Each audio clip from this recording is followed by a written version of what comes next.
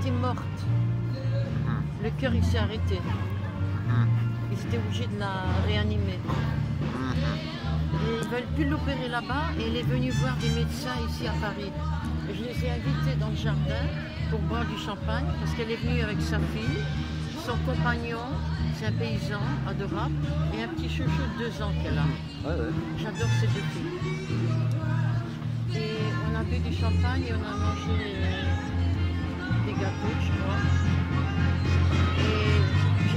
pas eu de nouvelles depuis. Peut-être qu'elle va venir se faire opérer à Paris.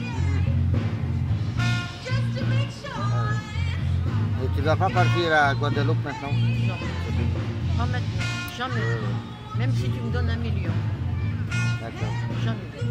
Ouais, je. Je supporterai pas 6 heures d'avion euh, dans l'état que je suis. Ah oui, J'ai oui. eu un malaise la dernière fois dans l'avion.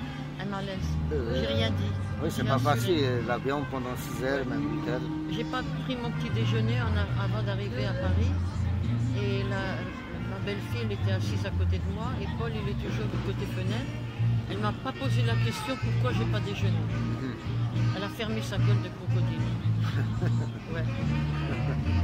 J'ai pas bu ni mon café ni mangé mon, ma tartine. Et j'ai dit à l'hôtesse en passant, j'ai eu un malaise, mademoiselle. Et elle était sidérée que j'ai pas signalé que j'ai eu un malaise. Sidérée.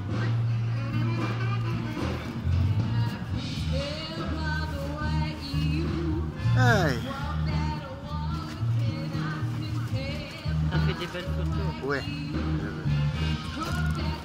Qu'est-ce que tu es en train de faire là? En même temps, j'enregistre un peu.